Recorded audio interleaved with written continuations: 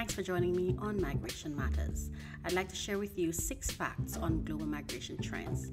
The Global Migration Indicators 2018 report gave us a snapshot of migration today.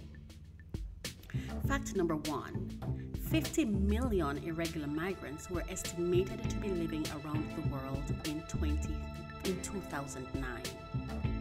Fact number two over 87% of countries asked about country of birth, 75% asked for citizenship, and 50% for the year or period of arrival in their 2010 censuses.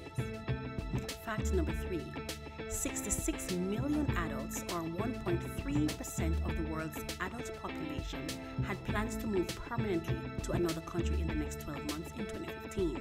Fact number four migrants contributed $6.7 trillion US dollars to global GDP in 2015, a share of 9.4% of the total global GDP that year.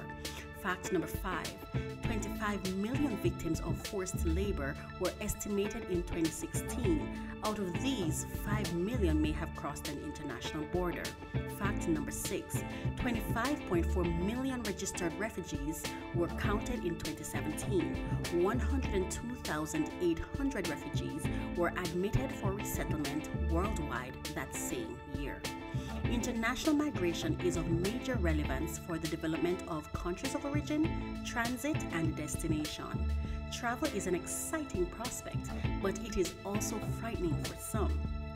Tell us what information you'd like us to share next week.